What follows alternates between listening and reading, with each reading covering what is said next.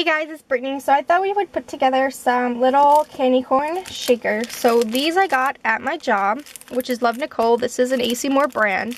Um, these were on the clearance. Um, I was actually kind of disappointed this year. They didn't have that much new, they didn't really have much Halloween stuff. Uh, but they had a ton of Halloween stuff on clearance. Like I bought up a ton of stickers. They had like really nice stuff, and but they were all on clearance, which is good for me. Plus I got my employee discount. But um, they have these really cute candy corn shakers. So I got two packs.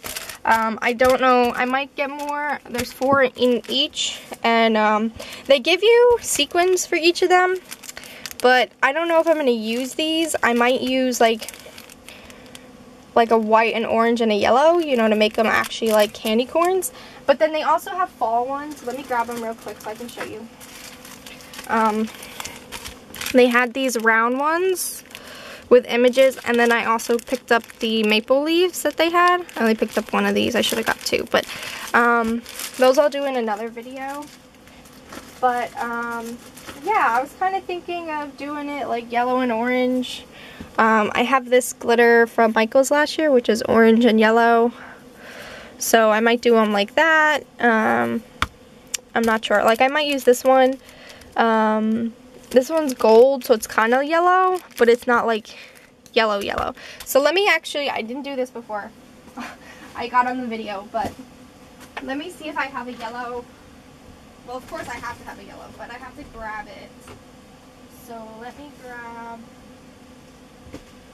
um, I have a neon yellow, that would be cool. Um, give me one second.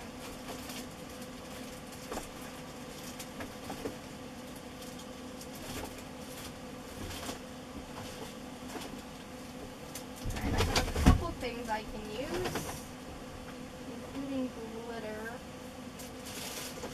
Um,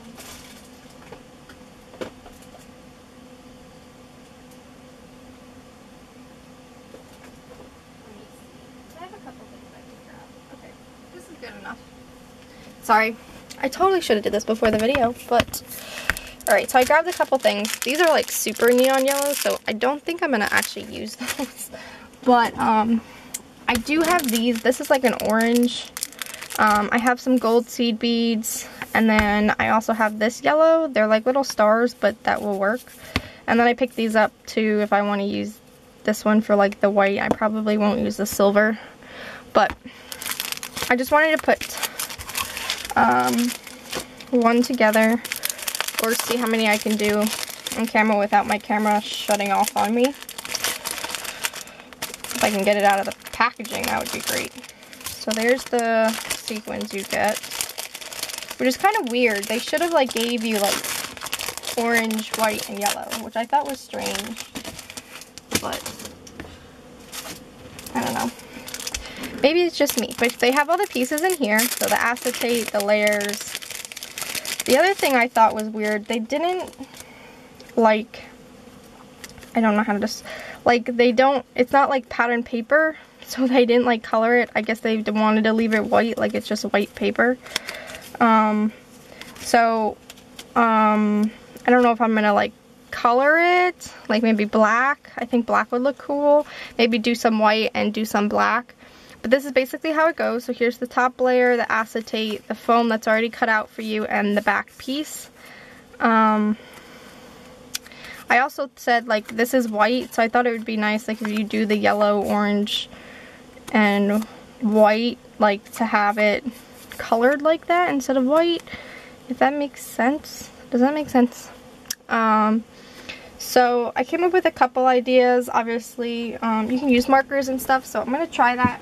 I'm just going to grab Crayola markers and um, see what I do. So that's what I was a little disappointed about, but okay, so first I got to make sure I don't color in, it goes white, orange, yellow. I got to make sure I don't color inside the um, where it's going to be white because that would suck. so I'm just going to color it just because why not? These are super easy to do and like I'm kind of just disappointed that it's just white. But it gives you, I guess, room to kind of do whatever you really want. Um, so I'm not really concerned. Alright, I think that's good. So, what I'm going to do is I'm going to now stick, I peeled off the back, and I'm going to stick this on to my base. Make sure I line it up right. So there's my little candy corn. And I'm going to put my sequins in. Now, obviously, you really don't need that many sequins in here. Like, you need a very, very small amount, which is great. So for white, I think I'm going to do this. I mean, I have this iridescent one, but then they give you this white one. So, I don't know. Maybe I'll do,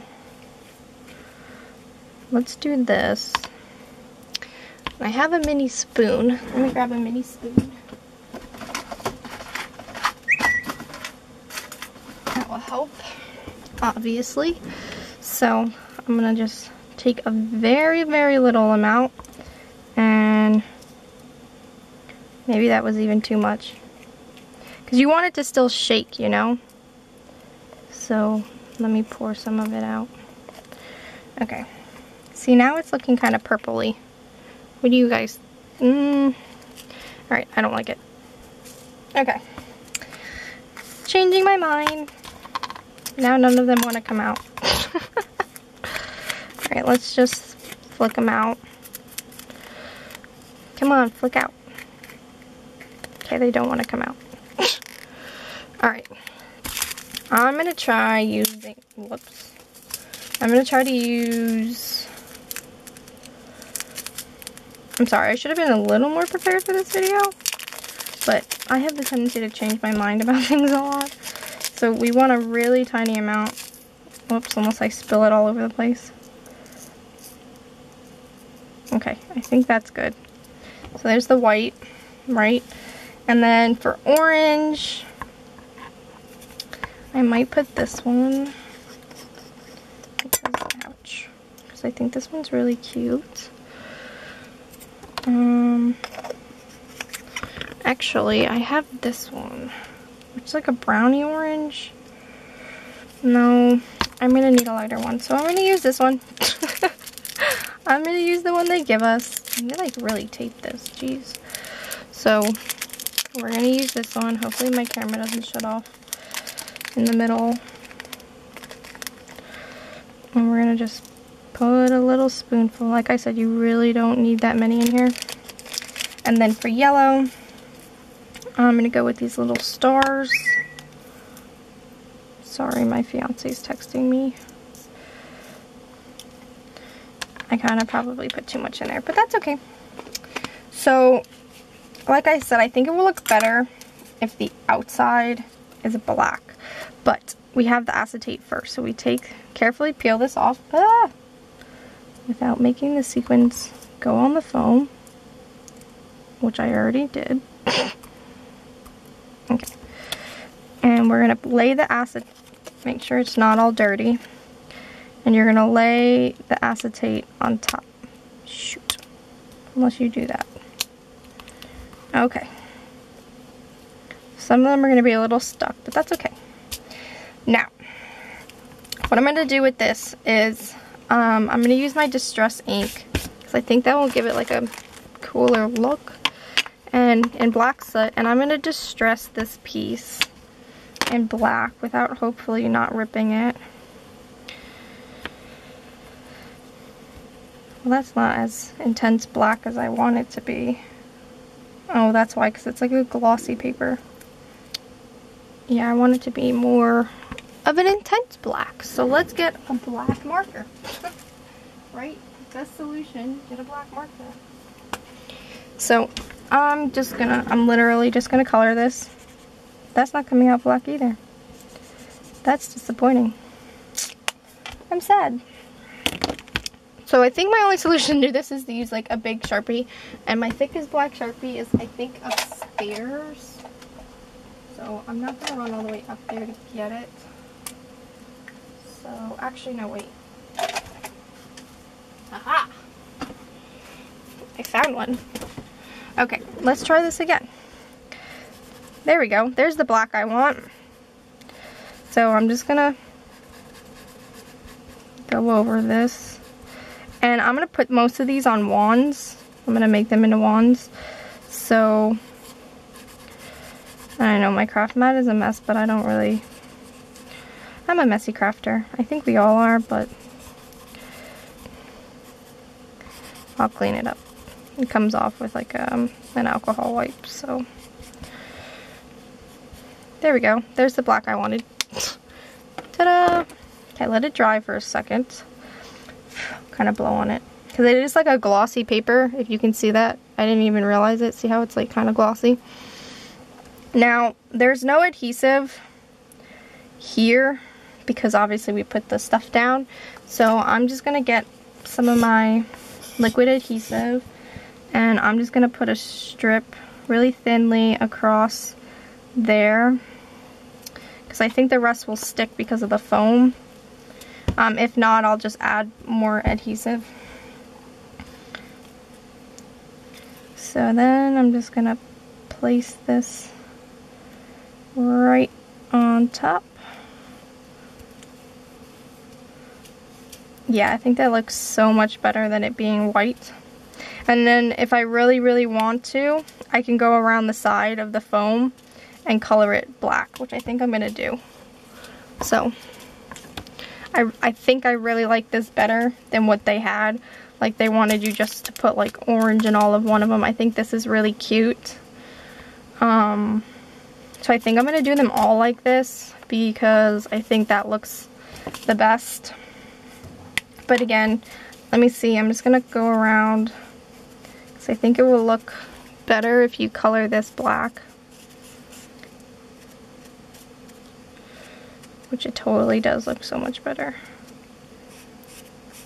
So that's why it's kind of weird that they left everything white.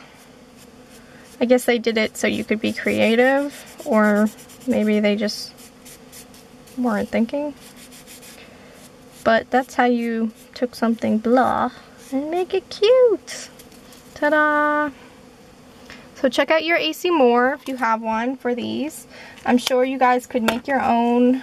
Um, if you find like a cutout. Um, there's probably a company that has a die like this somewhere. But it's cute that it all comes pre-made for you. Um, like again, I'm a little disappointed that they come all white and not in a gradient like this. And that everything's white. Um, and that they don't give you yellow, orange, and white sequins. They only, well, they give you white and orange, but then, and they give you like a gold but then they give you purple, which doesn't make really sense for candy corn. So, but um, yeah, there's the little shaker. So it does shake, super cute. So I'm going to put these probably on wands, and I'm going to make the rest of them now that I know what I'm doing. so let me know what you guys think, and um, I'll talk to y'all soon. Bye, guys.